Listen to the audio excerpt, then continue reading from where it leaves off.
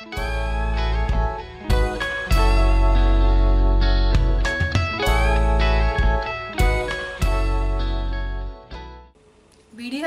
is a test which is carried out for screening of the syphilis.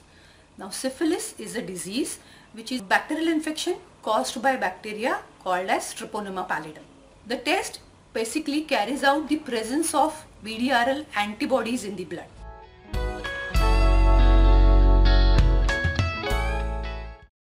When doctors suspect that somebody suffers from syphilis, doctor advises to undergo a test which is named as VDRL. Now when the test reports comes out to be positive, that clearly means that the antibodies for Treponema pallidum is present in person's body. While when the test comes out to be negative, that doesn't clearly means that the patient's blood doesn't have antibodies for Treponema pallidum.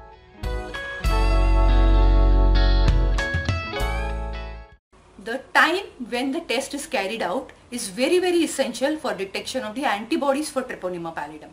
Like for example, if the test is carried out to be in the initial phases of infection, then in majority of the cases the test may comes out to be false negative.